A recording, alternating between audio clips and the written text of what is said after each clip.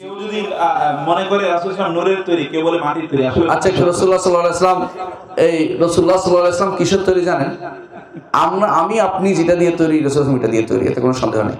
তিনি মা গর্ভে জন্মগ্রহণ করেছেন এবং যেভাবে একজন মানুষ আসে দুনিয়া সেভাবে আসছেন।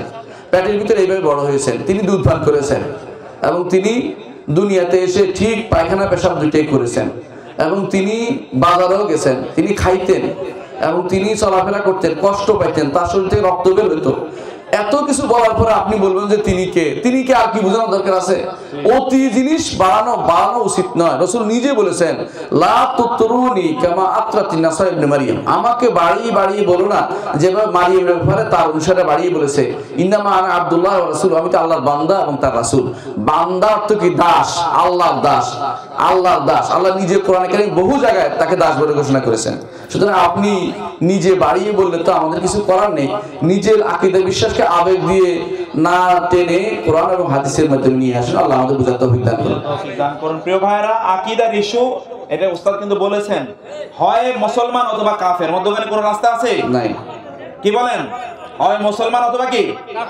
এ আপনারা বলেন না কেন? হয় মুসলমান অথবা কাফের। উস্তাদ কি বলে? উনি আকিদার উস্তাদ।